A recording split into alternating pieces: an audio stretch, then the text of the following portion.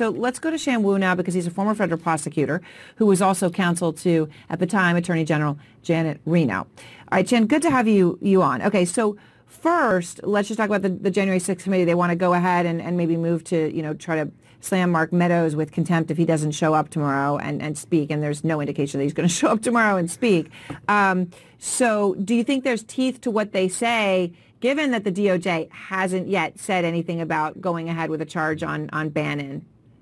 I think there is teeth to what they say, Erin. Uh, you know, they can't control what DOJ does.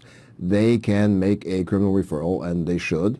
Uh, in this case, or they could make the request for the civil referral, but that would be pretty slow going for them. So I don't think they're going to consider whether the AG has acted yet. Uh, the important thing to remember, I think we often forget, is that you know, he's got to show up. I mean, he can show up and assert privileges, but this idea that he can just sit back and say, I'm not going to show up because I'm listening to the former president, that, that's obviously contempt of Congress. So they definitely should refer that.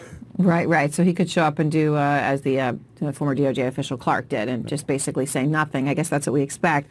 So um, let me ask you about the appeals court, though, because, you know, basically Meadows could be waiting for executive privilege to play out, which plays out vis-a-vis Bannon and the DOJ, but it also plays out uh, with this appeals court ruling. You know, there are, are some who thought that this would be a little easier for the committee, uh, that they wouldn't, you know, have to wait another few weeks or possibly even longer to get this information. Were you surprised by their decision today to sort of give this temporary, I don't want to use the word victory, but this stay in favor of Trump?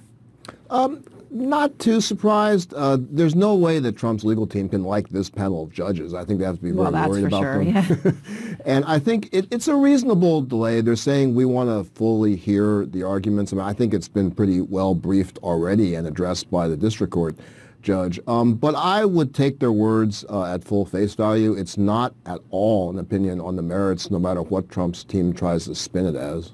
You know, it's interesting. Trump hasn't said anything. You know, we point out about these judges. He hasn't said anything about them. Um, and he's never been shy about criticizing judges. You know, remember the Trump University lawsuit, the asylum ban, lawsuits to overturn the 2020 election that he lost? He had things to say about all those judges. Let me just remind everybody.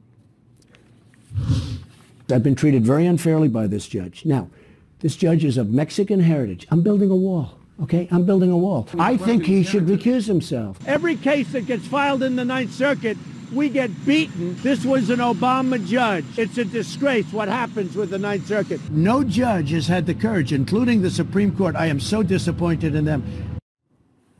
All right, so. Um, you know, when when you look at what happened here, Judge Chutkan already ruled against Trump on executive uh, privilege, and you know, before that, she had called the January 6th crowd a, a violent mob seeking to overthrow the lawfully elected government. Um, so she, she, you know, she had a point of view as a, as an individual, right? And then she, she ruled as a judge. Trump hasn't called her out. He hasn't called this panel of judges out. It's not like him. Why do you think it, it is? Yeah, it's always hard to speculate as to uh, what's going on inside of Trump's mind. I, I, don't consider him to be much of a strategist. He's very impulsive, as yeah. we all know. I just think it's a little bit off his radar screen for some reason. And most importantly, I think he really believes that he's got the Supreme Court in his pocket because of his ability to put on these conservative judges.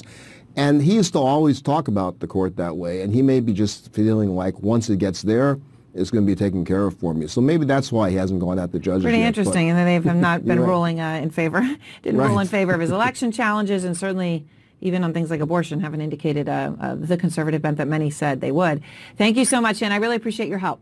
Sure thing. Good to see you. And next, top business leaders.